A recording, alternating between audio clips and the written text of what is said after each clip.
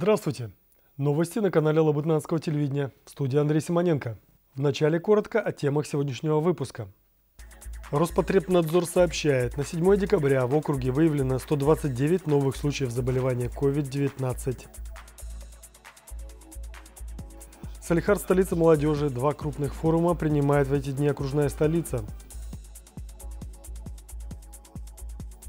Я исследователь города, заявляют воспитанники детских садов на всероссийском конкурсе творческих проектов. Месяц добрых дел продолжается. Сегодня волонтеры навестили и накормили бездомных животных. Новый тренер по боксу приступил к работе в спортивной школе «Юность».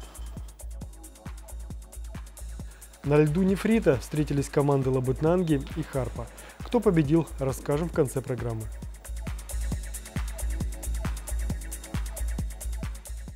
По данным окружного управления Роспотребнадзора, на 7 декабря на Ямале выявлено 129 новых случаев заболевания COVID-19. Это на один меньше, чем вчера, столько же, как и неделю назад.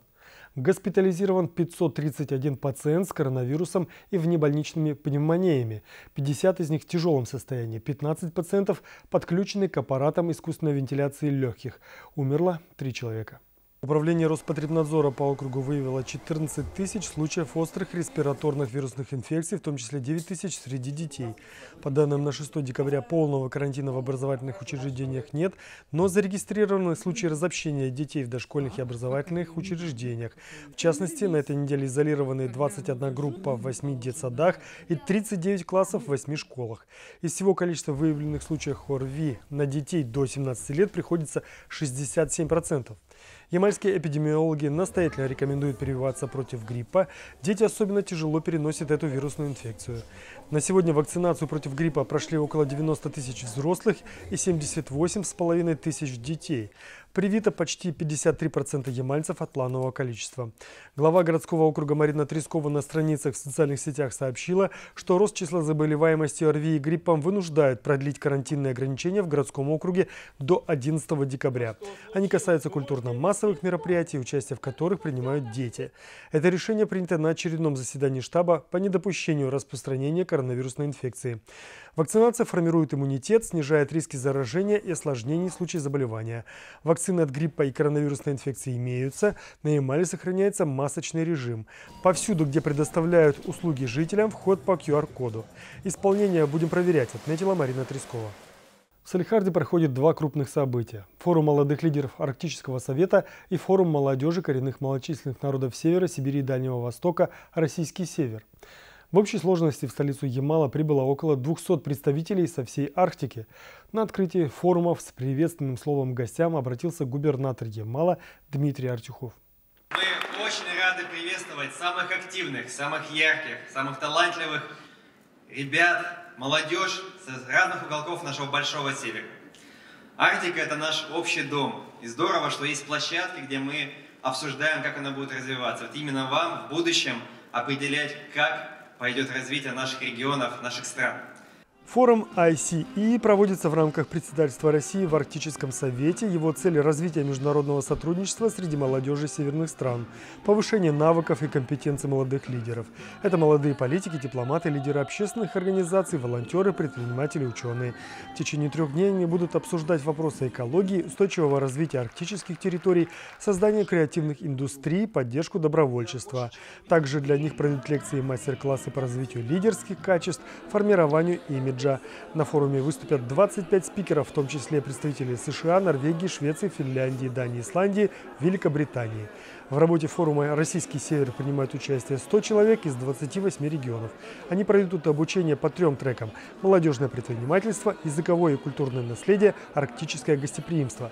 Спикерами выступят известные федеральные и региональные эксперты. В Москве завершился третий этап 20-го съезда партии «Единая Россия». Главной целью ее работы в следующие пять лет делегаты определили реализацию народной программы, с которой партия победила на выборах 2021 года. Документ вобрал в себя 2 миллиона инициатив от жителей страны.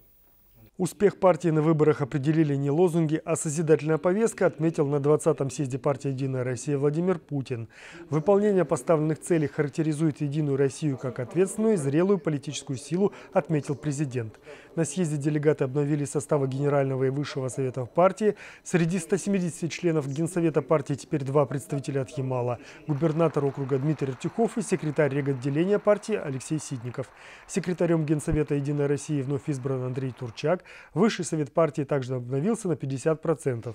В его состав вошел депутат Государственной Думы Российской Федерации Дмитрий Кобылкин. Председателем «Единой России» еще на пять лет переизбран Дмитрий Медведев.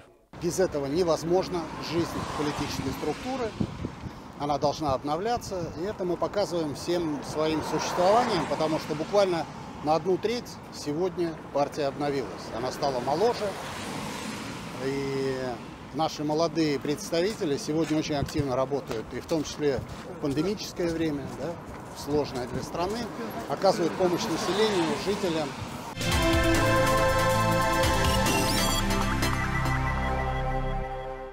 Национальные проекты стали главной темой обсуждения на встрече руководителей городских учреждений образования. Обсуждали итоги их реализации в уходящем году и составляли планы на будущее. Подробности далее. Чтобы оценить свою работу в уходящем году, педагоги провели совместное совещание. Мы подводим э, итоги по э, самым, скажем так, приоритетным направлениям нашей деятельности по национальным проектам. Кураторы региональных проектов «Современная школа», «Цифровая образовательная среда», «Демография», «Патриотическое воспитание», «Успех каждого ребенка» подробно рассказывали присутствующим о достигнутых показателях. Созданы четыре точки роста. Это центры цифрового гуманитарного профиля образования. Они именно помогают и повысить качество образования, и вообще оснастить, обновить э, учебным оборудованием школ и наладить сетевое взаимодействие между школами и э, учреждениями дополнительного образования. То есть вот это важные такие как бы, точки. И также у нас хорошо, что также нашему городу досталось, и в городе создан был детский мобильный технопарк «Кванториум». Это тоже очень интересное направление, связанное с дополнительным образованием. Дополнительное образование шло отдельной строкой в повестке заседания. Елена Семенова отметила, что его качество повысилось, а количество детей, занимающихся внеурочной деятельностью, увеличилось. Сегодня показатель охвата дополнительного образования составляет у нас сегодня 102%. А при ну, базовом, скажем так, показателе 84%. А здесь я хочу прежде всего поблагодарить вас а, за то, что вы сегодня сделали невозможное а, и за вот, э, в общем-то, короткий промежуток времени, да, вот э, конец прошлого учебного года, начало этого, вот смогли сегодня создать все условия, э, в том числе и технические условия для того, чтобы всех детей обеспечить, вовлечь в дополнительное образование. Озвученные показатели позволяют Лабытнанге быть безусловным лидером среди муниципалитетов округа. В этом году увеличилось количество детей, обучающихся по сертифицированным программам. На 2022 год мы планируем оборудовать на базе первой школы центр цифрового обучения IT-куб. 6 кубов будет открыто. Современное направление – это тоже дополнительное образование и реализация углубленной информатики. И также в гимназию будут закуплены QT-роботы. В будущее педагоги смотрят с оптимизмом на проделанное с удовлетворением. Итоги работы в уходящем году можно оценивать на твердую пятерку. Это подтверждали и дипломы победителей регионального уровня, которые вручали на итоговом совещании. Ирина Якобова, Николай Снегир, программа «Время местное». Я исследователь. Традиционный всероссийский конкурс исследовательских работ и творческих проектов воспитанников детских садов. В этот раз проходит дистанционно. Сегодня на первом этапе ребята защищают свои проекты в онлайн-формате по четырем тематическим секциям. Живая природа, естественно, научная неживая природа, гуманитарная и физика, математика, техника. Зачем животным хвост? Какая ягода самая полезная? Когда наступит эра роботов. Маленькие почемучки на муниципальном туре конкурса «Я исследователь» готовы рассказать о многом. В своих работах дошколята пытаются докопаться до истины, ответить на всевозможные вопросы, проводят исследования, эксперименты. Константин Клименко – воспитанник детского сада «Улыбка». Ему однажды стало интересно, почему масло не растворяется в чае, а плавает по поверхности. За помощью он обратился к своему наставнику Татьяне Гульбис. Такая ситуация, когда возникла, ну интересно же детям, а что это там сверху-то плавает? Сразу на чай такие, как кружочки появляются, что это? Это масло, а почему? Тем более, что мы учим, что вода растворяет, как растворитель является, растворяет сахар, соль может растворить, еще что-то, а масло вот никак. Ну вот примерно с такого вопроса и возник проект. Проект Костя готовил вместе с руководителем Татьяной Николаевной три недели. Вместе изучали такое сложное для дошкольника явление, как плотность вещества. Из чего оно состоит? Проводили эксперименты и пришли к выводу, что... Масло не растворяется в чае, потому что у масла плотность меньше, и оно легче. А это уже детский сад «Снежинка». Андрей Кокорин и Макар Соболь в этом деле не новички. Защищают свои проекты на дистанционном конкурсе «Я исследователь» не первый раз. Поэтому мальчики чувствуют себя в своей тарелке. Отлично владеют информацией и четко отвечают на вопросы экспертов. Яркие рыбы несут в себе опасность. А в чем их опасность? Например, если э, у них яд содержится, яркие они сильно.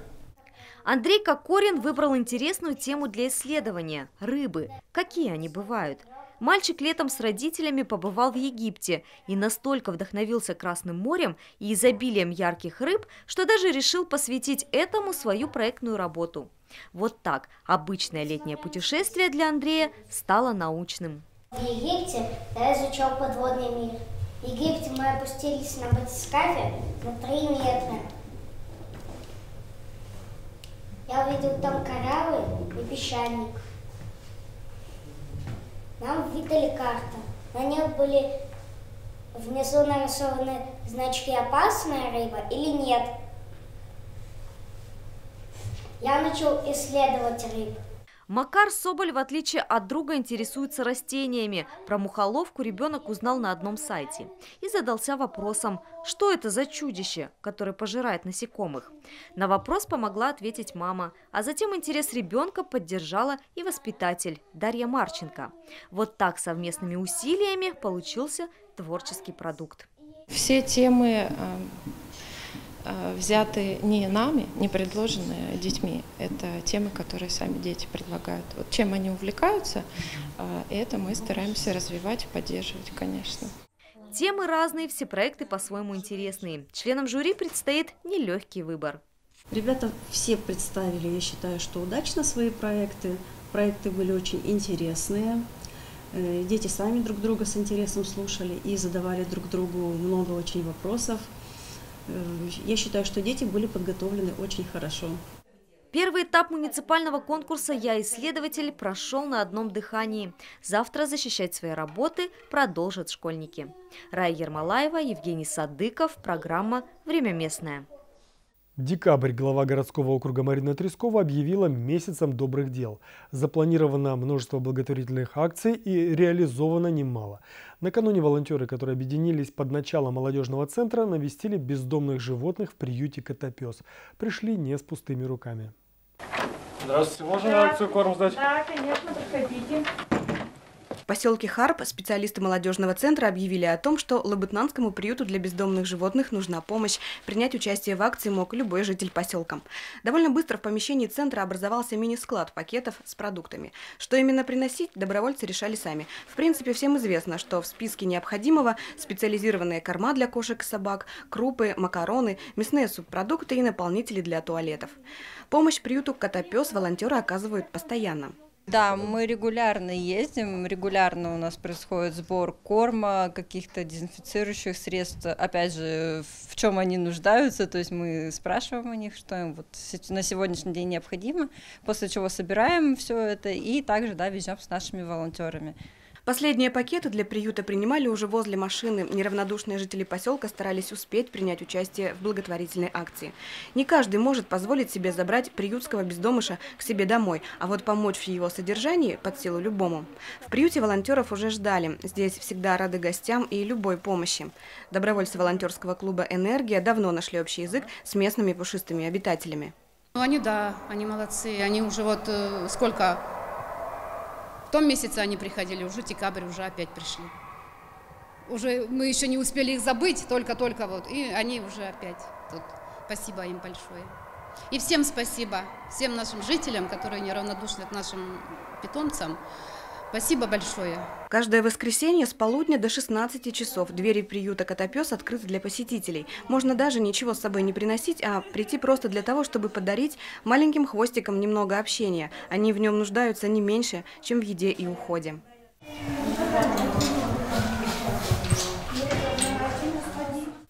Ольга Болдрева, Анастасия Шиховцова, Евгений Садыков и Владимир Николаев. Программа «Время местное».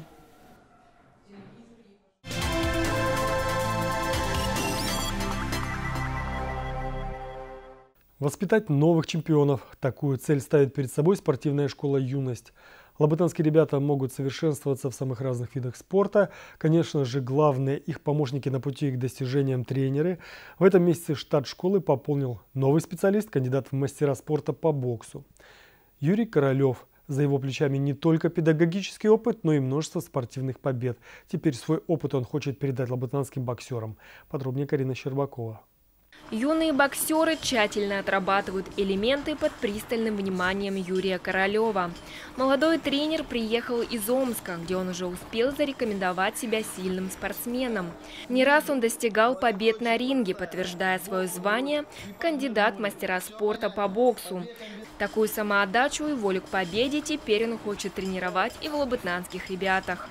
Чтобы они могли и постоять где-то за себя, и выступать на соревнованиях, достигать каких-то результатов, вершин. За плечами Юрия Королева не только участие в различных боях, но и педагогический опыт. Тренером он работает с 2016 года и уже имеет свои наработки и интересные методы. Более того, организовать занятия так, чтобы учесть способности каждого ребенка, ему помогает научно-практический опыт, который он получил в Сибирском государственном университете физической культуры и спорта. В тренировочном процессе он уделяет внимание многим моментам. Ну, по моему мнению, важно все-таки всестороннее развитие ребят проводить, как и псих, психологическое, так и физическое развитие, чтобы они более уверенно себя чувствовали. Девятилетний Вячеслав Русецкий выбрал этот вид спорта, чтобы стать сильнее и увереннее. На занятиях он тренирует скорость реакции, выносливость и умение держать удар. Мальчик уверен, он не позволит дать себя в обиду. Ну, чтобы постоять за себя, когда на меня нападут. Тренировки по боксу проходят как в утреннее, так и вечернее время. Уточнить информацию о занятиях и записаться можно по телефону спортивной школы «Юность» 564 31. Карина Щербакова, Григорий Волков. Программа «Время местное». Хоккей в нашей стране был и остается одним из самых любимых и зрелищных видов спорта. Ямальцы в числе активных игроков и фанатов ледовых баталий. Климат и характер северян способствуют развитию хоккея у нас в округе. В Харбском спорткомплексе «Нефрит» состоялась игра местных и лабытнанских хоккеистов. Более подробно расскажет Виктория Головко.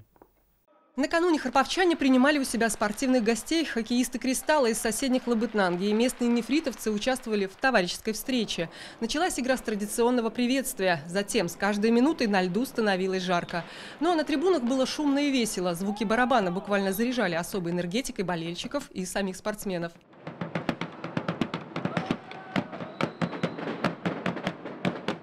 Это наш антураж, это же все должен быть. Скоро будут дуделки, гуделки, кричалки, свистелки.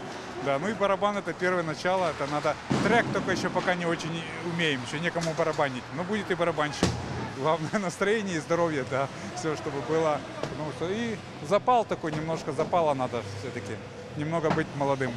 Оставаться молодым и позитивным помогает активный образ жизни. Игорь Шпакович умело совмещает руководство спорткомплексом, игру на барабане и работу вратаря. Хоккей объединяет людей различных профессий и возрастов. В составе команд есть ветераны спорта и молодые ребята. Все они любители скорости, натиска и адреналина. С самого детства. Хоккей с самого детства, без хоккея жить, э, мне кажется, невозможно, если ты начинаешь играть в хоккей. В нефрите первый раз, все очень нравится, встречают тепло, в общем, все прекрасно. Игра энергичная, соперник достойный, эмоции, жирок согнать можно, потолкаться, ну и дружба тут. За что любите хоккей? Э, скорость, э, сила, ловкость, э, дружба, сплоченность, командная игра.